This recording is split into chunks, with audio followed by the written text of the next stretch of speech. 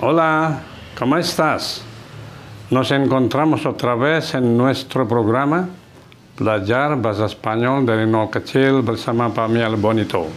Y sin más preámbulos, vamos a empezar nuestra lección de hoy. ¿Vale? Vamos. Sekarang coba perhatikan kalimat ini. Mobil saya sedang dicuci. Hah? Mobil saya sedang dicuci. Kalimat-kalimat sejenis ini dalam kehidupan sehari-hari sebetulnya sering kita dengarkan. Dan Pak Mi yakin kita semua pernah uh, mengucapkan kalimat sejenis ini. Karena contoh yang lain dari ini ya, ini kan mobil saya sedang dicuci, sedang dicuci kan. Mungkin contoh lainnya mungkin makanannya sedang disiapkan di dapur, ya. Misalnya juga, hmm, si Maria sedang diinterview oleh manajer perusahaan. Dan banyak lagi contoh yang sejenis ini. Nah, untuk mengungkapkan kalimat seperti ini dalam bahasa Spanyol, kita ikuti saja pattern atau uh, rumusan ya yang sudah kami siapkan di sini ya. Jadi ikuti rumusan ini yaitu suheto atau subjek atau hmm, pokok kalimat diikuti dengan estar. Estar di sini tentu harus dikonjugasikan seperti ini ya jadi esto, estas, esta, estamos, estas, estan disesuaikan dengan pokok kalimatnya nanti. Ya, mana yang akan dipakai kita lihat pokok kalimatnya yang mana. Kemudian ditambah dengan atau diikuti dengan kata siendo. Siendo ini dari kata kerja bantu share ya, share. Nah, siendo ini adalah bentuk apa namanya bentuk ing ya. Siendo ini bentuk ing dari share.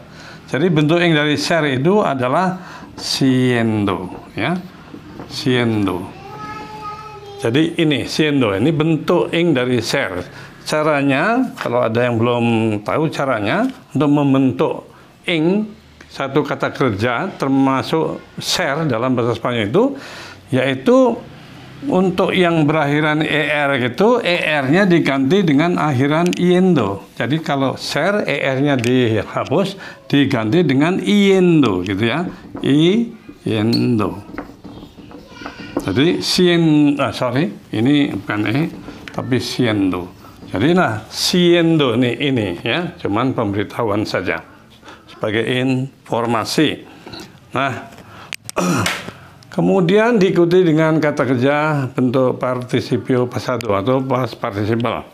Bagi yang mengikuti program kami pasti sudah hafal sekali bagaimana membentuk kata kerja pas participle atau pas participle dari suatu kata kerja yaitu menggunakan akhiran ado untuk kata kerja yang berakhiran ar atau ido untuk kata kerja yang berakhiran er ataupun IR ya. Jadi kita gunakan participio pasado atau pas participalnya dari kata kerja yang bersangkutan. Nah contohnya ini aja, mobil saya sedang dicuci. Bagaimana dalam bahasa Spanyolnya itu? Mobil saya sedang dicuci. Ya mobil saya diambil sebagai pokok, pokok kalimat atau subjek atau sujeto. Mobil saya, ya mobil saya itu seperti mi coche, ya mi Koce. Tuh, mi Koce ini mobil saya, my car. Kemudian diikuti dengan estar. Nah, estar untuk mi Koce, mi Koce kan benda tunggal nih ya, adalah esta. Kita ambil yang esta. Ya, karena esta ini adalah bentuk estar untuk benda tunggal atau usted atau el atau eya atau mungkin disebutin namanya kalau um, apa Antoni atau Maria nanti ngambilnya Esta. Ya. Jadi sekarang Mikoche sebagai subjek dan Estarnya kita ambil Esta. Nah kata siendo ini bentuk ing dari share itu itu tetap akan mengikuti tidak dirubah-rubah ya apa pun kalimatnya yang sejenis ini nanti kata kerja bantu siendonya ini tidak dirubah ikuti aja siendo nah sekarang bentuk pas participle dari kata kerja yang bersangkutan. Yang di sini kan yang dicuci. Jadi dicuci. Dicuci itu dari uh, kata kerja mencuci. Mencuci itu labar, ya, la, labar. Pertama ya, kita ketahui mencuci itu labar. Nah ini dicuci. Kalau ini kan mencuci. Sedangkan yang yang diperlukan kata kerja dicuci atau bentuk bentuk pas uh, pas pas partisipalnya atau ya di sini partisipal ya. Jadi lavar itu akan menjadilah labado karena ingat untuk kata kerja yang berakhiran ar itu uh, bentuk pas partisipalnya itu yaitu mengganti akhiran ar-nya ini kita hapus diganti dengan ado ya dengan ado kan ingat ya? Ado nah jadi menjadi la ado tambah ado menjadi labado ya. Oke. Sehingga, sehingga semuanya sudah kita dapat nih. So, subjeknya mikoce. Estarnya esta kita ambil yang esta siendulnya tidak berubah. Pas participle dari kata kerja mencuci yang menjadi dicuci itu adalah uh, apa lavado. Lavado. Jadi kalimatnya mi coche está siendo lavado. Kalau kita tulis di sini mi coche, mi mi coche estanya kita ambil yang esta itu esta siendo-nya akan tetap tidak dirubah apa pun kalimatnya yang sejenis ini siendo-nya tetap mengikuti tidak berubah. Nah pas pas pas partisipalnya ini adalah lavado dari mencuci menjadi dicuci. Lavado. Dan kita tahu nanti sorry lavado. Untuk pas partisipalnya itu akan selalu berubah menyesuaikan dengan pokok kalimatnya di sini pokok kalimatnya mikoce ya maka kata kerja pas partisipalnya kita ambil lavado ingat suatu ketika lavado ini mungkin menjadi lavada kalau pokok kalimatnya bergender apa namanya feminin. Dalam hal ini mikoce adalah maskulin, maka pas partisipalnya kita ambil yang lavado ya. Kalau di sini nanti feminin, maka di sini menjadi lavada. Ingat ya. Nah, ini kita kali kalimatnya mikoce está siendo lavado. Mobil saya sedang ya, está siendo dicuci lavado. Mobil saya sedang dicuci. Mi coche está siendo lavado.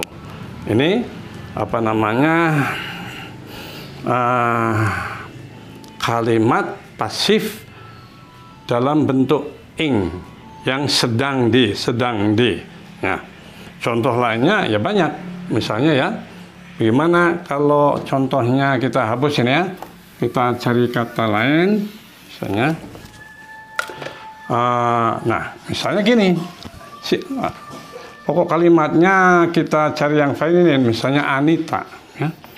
Anita ini, Anita ini sedang cari pekerjaan dan dia sedang diinterview sekarang. Jadi itu ceritanya. Jadi Anita sedang diinterview, huh? sedang ya, sorry sedang di interview interview oke di interview di interview nah Anita sedang di interview ini kan sejenis ya jadi sedang diapakan gitu ya nah bagaimana ini dalam bahasa Spanyolnya ya kita lihat ini Suhetonya mana? Anita. Kita ambil Anita sebagai subjek atau pokok kalimat. Anita. Nah, kalau pokok kalimatnya Anita, maka estarnya mana? Ya, yang est, masih esta. Ingat kan estar itu estoy, estas, esta. Esta ini adalah estar untuk el, ella, usted. Nah, Eya-nya tadi itu bisa disebut namanya, misalnya Anita. Kan Eya itu si ya, dia perempuan. Boleh disebut namanya, Anita. Misalnya, jadi kita ngambil yang Esta. Jadi Anita Esta. Ya, Anita Esta. Anita Esta. Nah, kemudian siendo-nya kan tetap tidak dirubah-rubah. Kata siendo. Nah, sekarang di interview. Ini kan asal katanya aktifnya menginterview. Menginterview itu kata kerjanya saya catat sini ya. Menginterview itu ya. Entrevistar. Entrevistar. Tuh, saya tulis di sini aja. Entrevistar itu menginterview, yang mewawancarai. Nah, yang diperlukan kan bentuk pas partisipalnya ya dari entrevistar itu. Kita lihat entrevistar itu kata kerja yang berakhiran AR. Jadi bentuk pas partisipalnya meng, yaitu menggantikan AR uh, akhiran AR dengan akhiran ADO ya seperti yang sudah kita pelajari. Jadi penggantinya ADO. AR-nya kita hapus maka nanti bentuk pas menjadi entrevis pakai ado jadi menjadi entrevistado ya entrevistado itu di interview nah itu oke okay. ya kita taruhkan sini Anita está siendo entrevist nah entrevistado itu aslinya begitu tapi untuk Anita kita akan memakai yang entrevistada nah Kan entrevistado itu kalau pokok kalimatnya maskulin. Ini kan Anita feminin, maka bukan entrevistado. O-nya ganti A. Jadi entrevistada. Ya. Jadi hasilnya Anita sedang diinterview itu adalah Anita está siendo entrevistada. Lah, begini seterusnya. Satu contoh lagi kalau misalnya uh, jamak ya bentuknya jamak bagaimana? Oke, okay. pokok kalimatnya jamak ya ini misalnya oke okay. uh, katakan jamak supaya supaya mudah itu contohnya yang gampang-gampang saja ya nanti bisa dikembangkan dengan contoh-contoh yang lebih katakan complicated atau advance ya misalnya mobil-mobil saya mobil-mobil ini Ya, jadi ini kan jamak ya. Kalau mobil ini itu tunggal satu. Kalau mobil-mobil ini kan kesannya jamak. Tulisan Bami tidak bagus ya. Oke. Mobil-mobil ini ya, mobil-mobil ini sedang sedang diapakan ya. Misalnya sedang dicuci atau sedang sedang diperbaiki lah gitu ya karena di bengkel ya jadi sedang diperbaiki sedang diperbaiki. Nah ini contoh ya. Di sini pokok kalimatnya sesuatu yang jamak. Oke jadi gimana? Kalau satu tadi kan mikoce esta gitu ya. Kalau banyak mobilnya sebagai subjek itu mobil-mobil ini kan estos misalnya kita mungkin datang ke suatu apa namanya bengkel dan lihat banyak mobil. Nah kita mengatakan mobil-mobil ini sedang diperbaiki jadi eh, mobil-mobil ini adalah estos coches ya estos coches nah karena estos coches ini benda jamak, maka estarnya kita ambil yang estan. Ya, kalau tunggal pakai esta, kalau jamak pakai estan. Jadi disesuaikan. Estar koces, estan. Ya. Estan. Tadi kata siendonya akan tetap selalu ikut, tidak dirubah-rubah. Estan, siendo. Nah, sekarang mem, diperbaiki itu kan dari kata memperbaiki. To repair itu bahasa Spanyol reparar, reparar ya. Itu satu di sini nggak apa-apa ya. Reparar itu mereparasi, hampir sama kan ya, mereparasi, reparar, to repair bahasa bahasa apa Inggrisnya. Jadi ada kesamaan di situ sedikit. Reparar. Sekali lagi-lagi bahwa reparar ini kata kerja yang berakhiran AR maka bentuk pas partisipalnya atau partisipal pasadonya yaitu menggunakan akhiran pengganti ado yaitu AR-nya dirubah dengan pengganti baru ado maka hasilnya ya gini, reparado. Reparado itu di repair ya, apanya di diperbaiki. Nah, ini yang kita perlukan. Oke, kita terus ini siendo reparado. Reparado. Tapi sekarang dia di sini kan dikatakan pas partisipalnya ini akan selalu meng, apa, menyesuaikan dengan pokok, pokok kalimatnya. Pokok kalimatnya ini sub apa namanya jamak. Estos coches, mobil-mobil ini. Jadi ini pun menyesuaikan menjadi reparados, ya, itu. Andai kata mobilnya cuma satu, dia menggunakan reparado. Tapi karena ini mobil-mobil ini, maka ini reparados. Dia selalu menyesuaikan dengan pokok kalimatnya. Jadi hasilnya mobil-mobil ini sedang diperbaiki itu adalah estos coches están siendo reparados. Itu bahasa uh, Spanyolnya. Oke, dalam bahasa Inggris kita tahu ini adalah these cars are being repaired. Jadi hampir sama di situ dalam hal ini ya. Estos coches están siendo reparados. Nah, sudah ada contoh-contoh kalimat, beberapa kalimat yang mengikuti pattern atau apa namanya hmm, rumusan ini yaitu suheto atau subjek atau pokok kalimat diikuti estar tentu yang sesuai dengan pokok kalimatnya.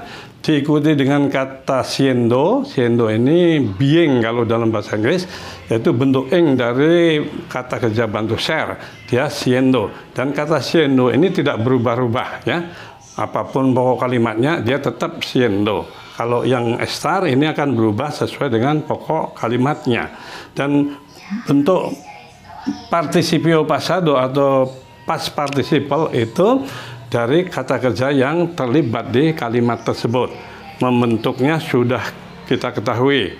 Ya, kalau kata kerja yang berakhiran AR, pas partisipalnya menggunakan uh, akhiran baru ado, akhiran pengganti ado untuk menggantikan akhiran AR-nya, ado. Seperti ini, reparar menjadi reparado, lavar menjadi lavado, entrevistar menjadi entrevistado, dan seterusnya. Nanti kalau kata kerjanya itu berakhiran ER atau IR, membentuk pas partisipalnya dengan menggunakan akhiran pengganti ido, ya, ido. Itu untuk kata kerja dasar yang berakhiran ER atau ER atau IR.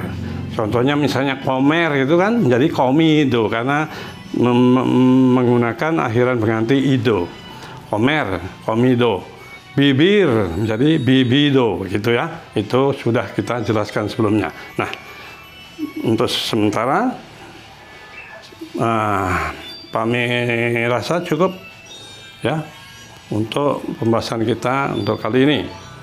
Uh, seperti biasa, kami harapkan ini bisa diikuti dan dipahami. Dan kalau dianggap bermanfaat, tolong jangan lupa di like ya. Dan bagi yang belum subscribe, Pak Mi sangat berharap untuk bisa subscribe juga. Dan Pak Mi jelaskan bahwa subscribe tidak memerlukan biaya subscribe hanya untuk mempermudah kita mengakses kembali channel atau program yang kita subscribe itu. Jadi tidak memerlukan biaya. Dan bagi yang mempunyai pertanyaan, terutama tentang bahasan kita, ataupun hal lain sepanjang itu berhubungan dengan bahasa Spanyol, silakan tuliskan pertanyaannya di kolom komentar. Ya, selama ini yang menulis pertanyaan di kolom komentar selalu Pak Mi balas atau Pak Mi jawab. Nah, akhirnya kami ucapkan terima kasih telah mengikuti program kami dan kita bertemu lagi di episode berikutnya. Muchas gracias y hasta luego.